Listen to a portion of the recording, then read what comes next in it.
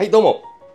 京都市会議員の平山隆夫でございます本日は8月のま19日の月曜日でございますけれどもま本日の平山隆夫チャンネルは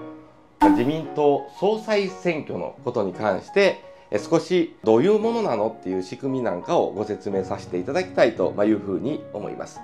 まあ、あの岸田文雄総理大臣がまちょうど先週ですね、まあ、次の自民党の総裁選挙には立候補しない不出馬の表明をなされたわけでございますけれども、まあ、その後ですね、まあ、派閥も解散したこと等もありましていろいろな方が、まあ、10名ほどですね今え立候補を検討しているというようなんで私なんかも、ま報道で見知る限りなんですけれどもいろいろと注目を集めているものなので、まあ、改めてどういったものなのかというものを、まお話しさせていただきたいというふうに思いますけれども、まあ、自民党総裁選挙とまあいう名前の通り、まあ、自民党の自由民主党というその政党の、まあ、総裁ですね総裁を決める選挙なんです。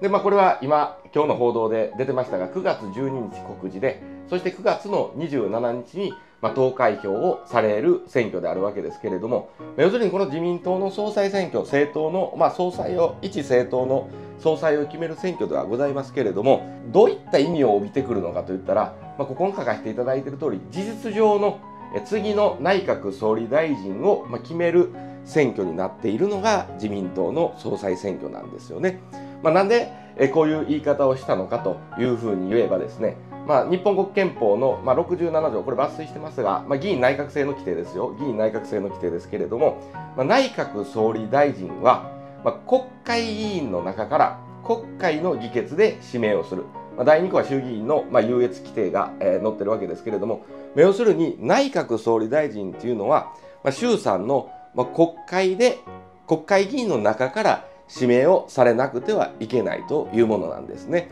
で、今、事実上国会の指名ですね、過半数を、えー、自民党の国会議員が抑えてますので、すなわち自民党の総裁が、まあ、ニアリーイコール次の、まあ、内閣総理大臣に指名されるだろうと、まあ、いう、そういうことなんですよね。まあ、そこで、じゃあどうやってその自民党の総裁というものを決めるのかといったらですね、これじゃあ私、平山隆夫が立候補しますというふうに、まあ、簡単にできるものではなくてですね、出馬するにはまず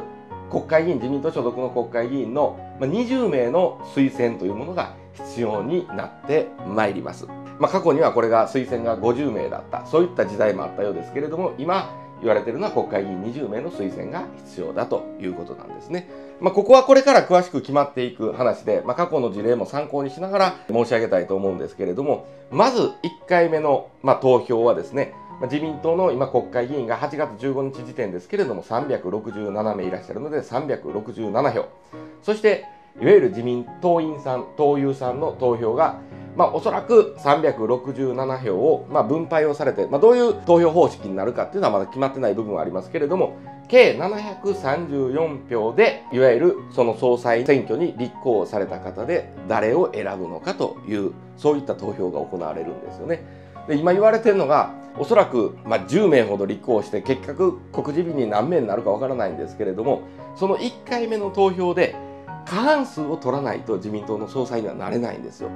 ただおそらく言われているのは10名も立候補したら1回目の投票で票が割れてしまうので過半数に満たないだろうというふうに、まあ、これ言われているわけです。で過半数に満たない場合はどうしたらいいのかって言ったらいわゆるその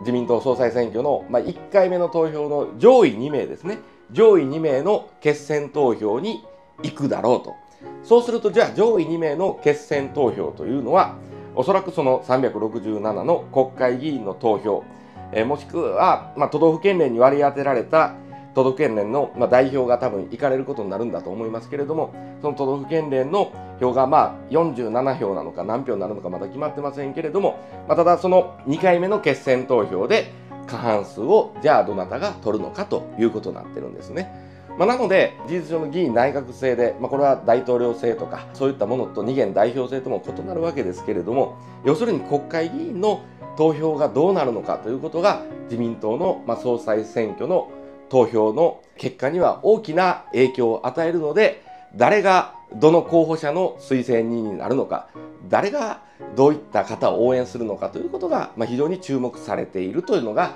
まあ、自民党の総裁選挙であるわけでございます。まあ、詳しいことが、まあ、これからどんどん判明していくと思いますので、まあ、まずは本日の平山隆夫チャンネル自民党総裁選挙の解説動画はこの程度にしておいて、また後日速報なんかがあればお送りさせていただきたいと思います。本日の平山隆夫チャンネルは以上です。どうもありがとうございました。